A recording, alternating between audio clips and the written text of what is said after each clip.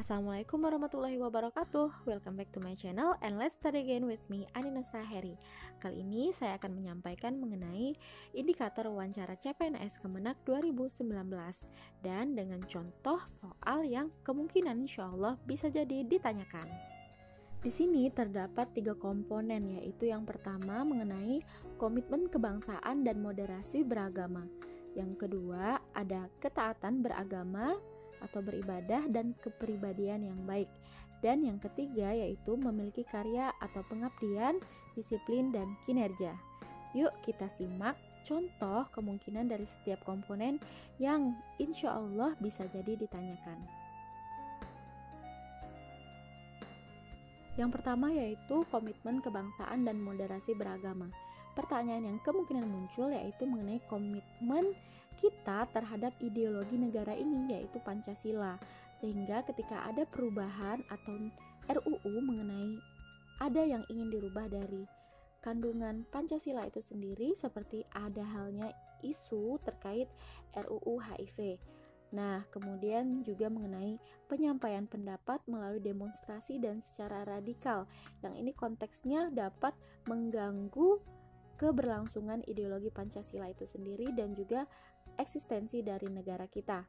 Kemudian terorisme menurut perspektif kita di mana itu pastinya mengganggu ketertiban e, ketertiban masyarakat dan juga eksistensi negara ini. Kemudian khilafah yang dalam kaitannya adalah mendirikan negara di atas negara kita yang berdaulat. Nah, kemudian juga terkait kebijakan pemerintah yang terkini yang ada kaitannya dengan agama seperti itu. Contohnya, yaitu terkait sholat di rumah atau di masjid saat pandemi dengan adanya keputusan MUI.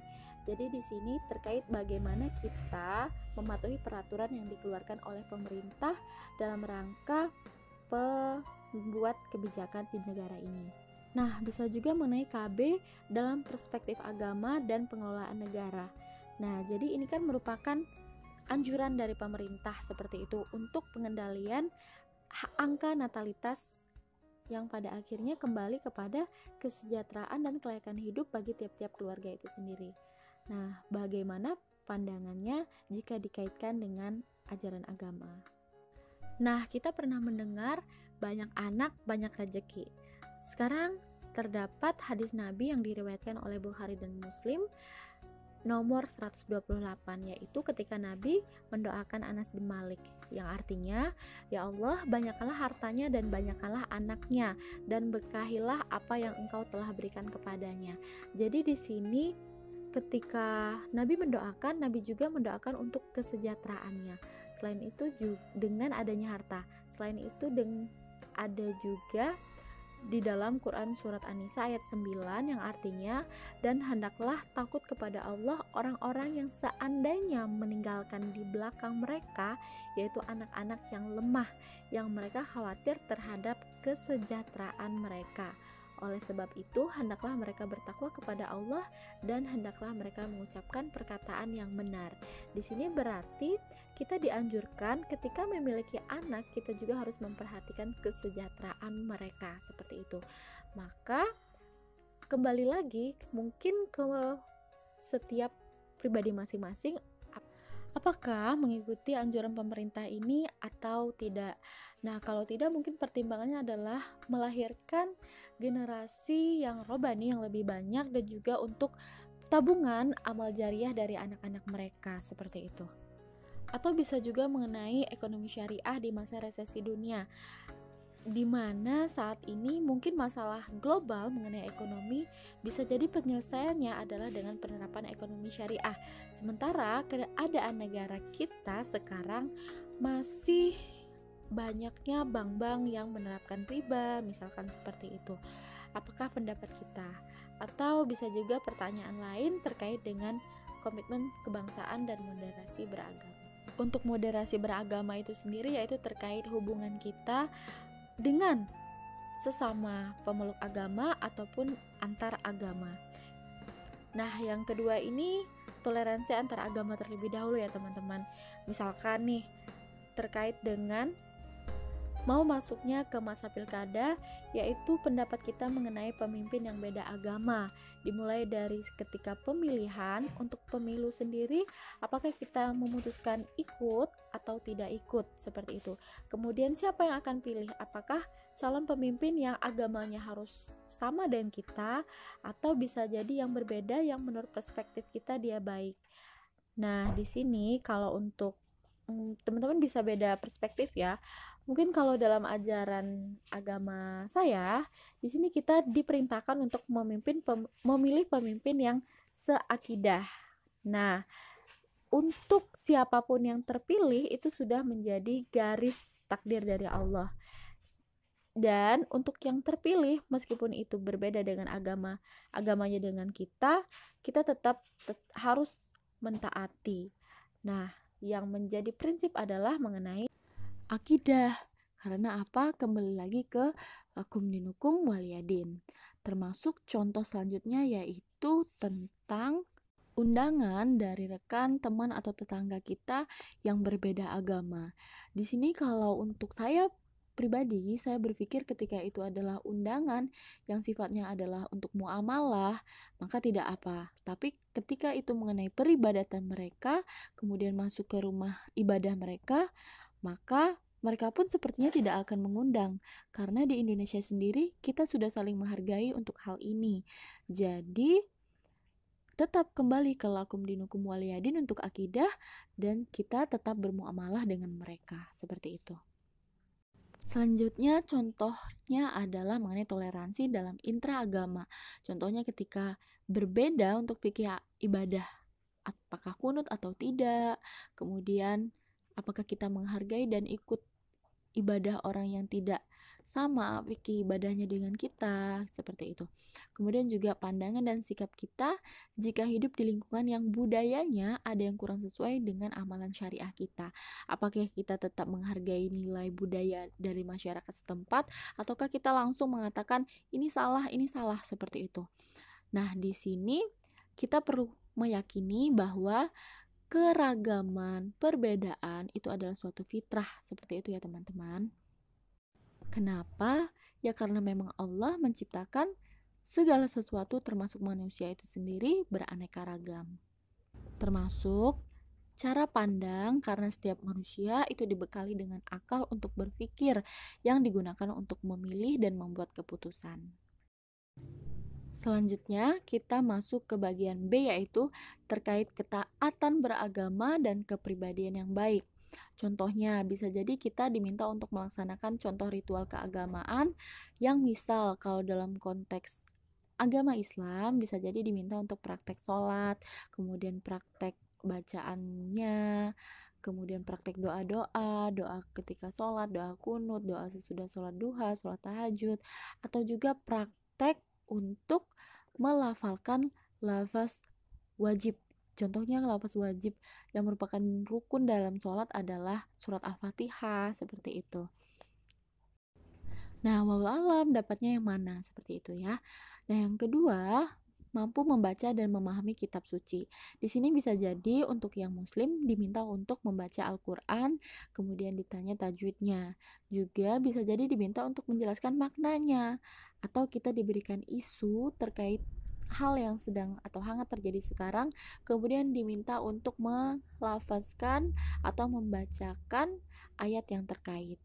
Nah, kalau terkait dengan menulis ayat suci Al-Quran itu sendiri, seperti halnya tahun-tahun CPNS sebelumnya di mana peserta diminta untuk menulis, kemungkinan karena waktunya sangat singkat melalui Zoom, bisa jadi tidak diminta untuk menulis ayat ini. Walau alam ya teman-teman ya.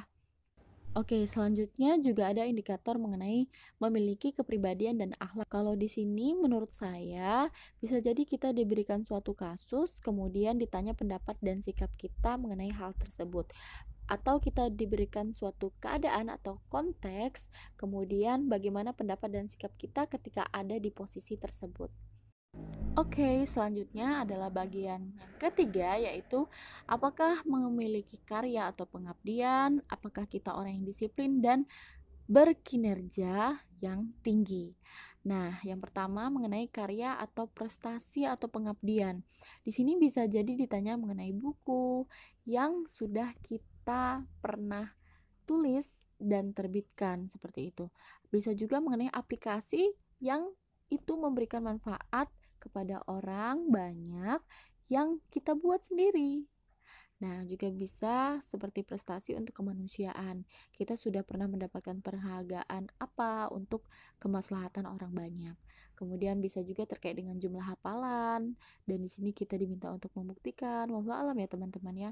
Karena hafalan itu juga suatu prestasi yang masya Allah gitu. Dan juga apakah kita pernah menjuarai lomba-lomba, lomba makan kerupuk atau lomba yang lainnya gitu ya. Oh, no no no no. Oke, yang kedua yaitu keaktifan kita di organisasi atau suatu komunitas, baik itu yang keagamaan, sosial, budaya, dan lain-lain. Nah, di sini kita bisa jadi diminta untuk apakah kita pernah atau sekarang aktif di organisasi atau komunitas seperti ini, kemudian kita sebagai apa, kemudian apa kegiatan yang pernah kita lakukan bersama organisasi ini, apa sumbangsih kita, program kerjanya memang bagaimana, seperti sasaran, targetan, atau diminta untuk bercerita pengalaman kita yang paling berkesan dalam organisasi ini atau komunitas ini yang memberikan manfaat untuk orang lain. Wallahu ya teman-teman. Kemudian yang ketiga mengenai disiplin dan kinerja. Nah, di sini pertanyaan yang bisa jadi ditanyakan seperti halnya tahun kemarin pernah beberapa teman ditanyakan yaitu seperti pilih keluarga atau pekerjaan. Nah, di sini kita bisa memberikan contoh konteks tertentu ketika kita milih keluarga atau ketika kita milih pekerjaan. Di sini kita perlu untuk menunjukkan integritas kita, kemudian juga loyalitas kita dan profesionalitas kita terhadap pekerjaan yang telah kita putuskan. Nah, sebagai calon PNS misalkan karena kita sudah komit dari awal dan juga kita dari awal harus komit dengan keluarga mengenai bagaimanapun resiko pekerjaan ini, maka kita usahakan untuk seprofesional mungkin. Maka keluarga juga insya Allah akan paham kalau itu kaitannya dengan pekerjaan, kecuali konteksnya, kondisinya itu sangat urgent. Oke teman-teman, selanjutnya contohnya adalah kalau dikasih kerjaan deadline gimana? Apakah kita akan menerima dan berusaha keras agar pekerjaan ini terselesaikan tapi tetap dengan baik ataukah kita merasa mengeluh seperti itu? Nah, di situ juga kita dinilai untuk integritas kita, kemudian kinerja kita, seperti itu ya teman-teman. Dan selanjutnya adalah jika ada pertanyaan, siap ditempatkan di mana saja atau dimutasi ke mana saja. Nah, apalagi untuk yang hmm, misal guru nih, guru di Kemenak ketika masih proses seleksi, maka belum tahu pasti di sekolah mana, di kabupaten mana atau kota mana akan ditempatkan. Yang penting insya Allah masih di wilayah atau di provinsi yang dia lamar. Nah, atau ketika sudah memilih tempatnya dengan pertanyaan bersedia tidak kalau suatu hari dimutasi. Nah, karena setahu saya ketika mau menjadi PNS itu sendiri maka harus siap ditempatkan di mana saja. Jadi, dari sebelum melamar menjadi CPNS, kita sudah tahu resiko apa dan juga tantangan-tantangan ketika kita sudah menjadi PNS insya Allah. Oke teman-teman, itu beberapa pertanyaan yang bisa jadi muncul walau alam. Teman-teman boleh punya perspektif yang lainnya ya. Silahkan komen di kolom komentar kalau teman-teman punya perspektif lain atau tambahan informasi untuk video ini. Terima kasih sudah menonton. Semoga bermanfaat dan mohon maaf kalau ada kesalahan dan kekurangan. And don't forget to like, comment, and subscribe this video or this channel. Thank you. Wassalamualaikum